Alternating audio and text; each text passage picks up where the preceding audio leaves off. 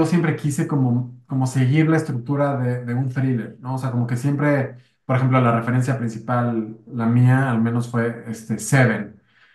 Entonces, como que siempre, como que era mi referencia, mi referencia. Y digo, hay muchas más referencias, ¿no? Pero, pero como que yo quería seguir esta estructura de thriller, ¿no? Y, y tratar de aterrizarlo como a un, a un, este, a una ejecución un poquito más realista, ¿no? O sea, tratar de que, de que sí hay elementos sobrenaturales y sí hay elementos de horror, pero yo quise siempre como algo que pudiera suceder en la vida real, ¿no? Como siempre quise irme por ese, por ese lado, ¿no? Entonces, como que en ese sentido, pues sí, la construcción del, del personaje, todo lo que le va sucediendo, pues de alguna manera sigue la, la, la estructura de- del thriller con distintas variaciones, pero al final esta película es un, un híbrido de género, ¿no? Porque eh, eh, en el fondo realmente tenemos este drama de Santiago con Marcela. Y que realmente de eso es lo que se trata la película. La película se trata del dilema que tiene este, Santiago en su vida y cómo tiene su vida en pausa y cómo tiene estos conflictos este, en, su,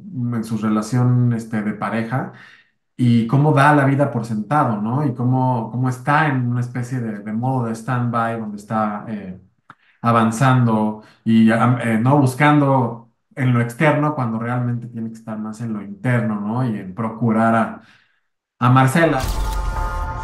El tiempo que te quede, piensa bien qué es lo que vas a hacer con él. Lo que me gusta mucho justo de, de Santiago y Marcela es que sí retratan una relación muy actual en donde ellos están, tienen que tomar una decisión muy importante en sus vidas, pero justamente Santiago no se encuentra como en, en las mejores condiciones de poder tomar la decisión.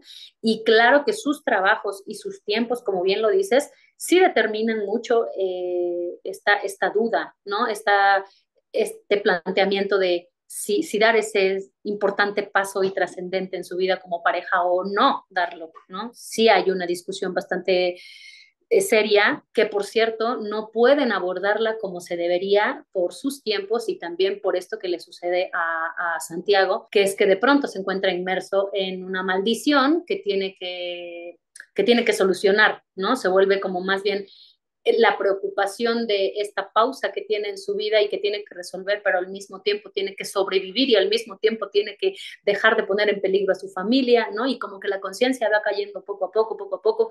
Eh, me parece que es un retrato bien padre de, de, las relaciones actuales, de que ahora ya nos planteamos si, si ser padres, si ser madres o no serlo, ¿no? Y que los acuerdos todo el tiempo en pareja tienen que estar platicándolo, comunicándose. Solo que como Santiago y como Marcela, no siempre tenemos esa posibilidad de poder tener la comunicación efectiva. Se lo estaban comiendo las ratas. El plan era filmar en 2020, no, a finales del 2020. Entonces teníamos todo ese año como para trabajar en el proceso de desarrollo y de preproducción y, ¿no? y filmar la película.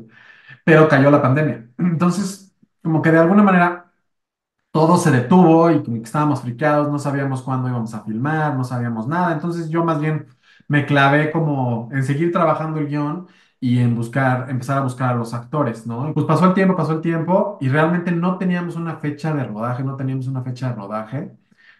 Y, y pues de repente fue como ya, vamos a filmar tal fecha y se nos vino el tiempo encima y entonces tuvimos que reactivar todos los departamentos que no habíamos podido trabajar porque además yo tenía un diseñador de producción previo a esta película que a la mera hora ya no jaló y, entonces terminé trabajando con, con Alizarín que, que ella había hecho solteras y entonces él entró a este proyecto y le entró así como, bueno, pues vamos a, a entrar, entonces ya no tuvimos tanto tiempo de desarrollo, pero al final como ya la conozco y nos conocemos bien y sabe cómo, o sea, conocemos nuestros gustos y compartimos gustos en muchas cosas, fue como muy sencillo este el camino por donde tenía que suceder la película, ¿no?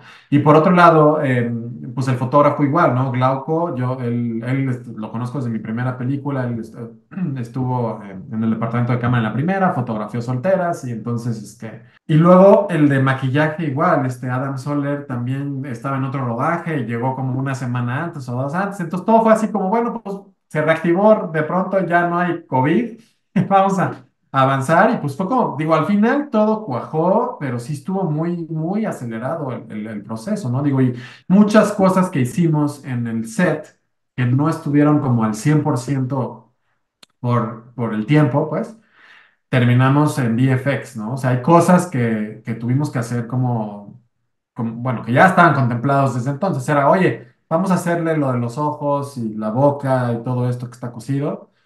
Bueno, pues ahí está el prostético, pero vamos a pulirlo en postproducción, ¿no? O, las ratas, por ejemplo, ¿no? Que están ahí en los pies. Ok, sí, eso está en el set, están los prostéticos y bla, bla, bla, pero vamos a meterle más ratas en postproducción, ¿no? Entonces, como que ese, ese tipo de cosillas que, que, que, pues bueno, refuerzan y, y que pues es una gran herramienta. Los efectos visuales son una gran herramienta para todas esas cosas. Te prometo que yo te hago tu exposición. Tú sígueme trayendo fotos. Fotos bien cabronas. Obviamente, como actores y actrices, lo que tenemos que hacer es meternos en el papel del personaje y decirlo con verdad, ¿no? Eso, digámoslo, es vivir como el personaje, hablar con el personaje y decirlo naturalmente, realmente, es como nuestro trabajo más difícil. Se escucha muy fácil, pero realmente es muy difícil.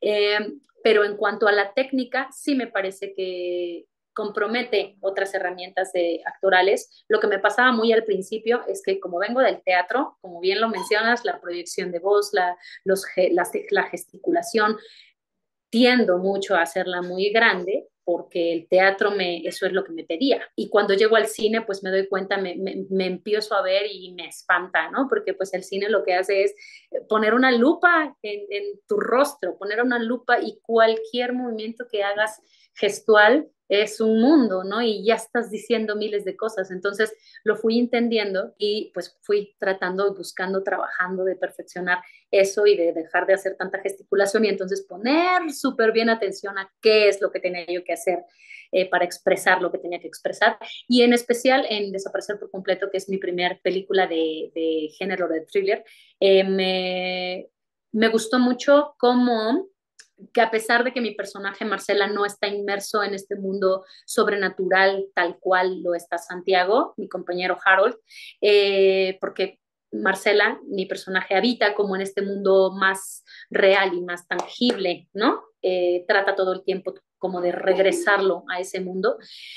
Eh, sí, sé, sí sabía que estaba yo en un entorno, en un, en un, tono general de película que también tenía yo que entrar, independientemente de que estuviera yo actuando de una forma más realista, sí tenía yo que entrar en un tono. Entonces, la verdad es que eh, fue una cosa súper intuitiva, nada más de conectar con ese universo, con, esa, con ese ambiente generado por todos los creativos y tratar de empatar, ¿no? Tratar de nadar en, en las mismas aguas con este, esta petición especial que me había dado desde un, desde un inicio Luisja, que fue, tu personaje es el único que es real, que habita en la realidad, ¿no? Pero dentro de este mundo. Entonces, órale, pues entonces jugamos a eso y eso fue, fue muy padre poder intuitivamente eh, manejar el tono al mismo tiempo que vivirlo de manera real, ¿no? De que volver a la realidad.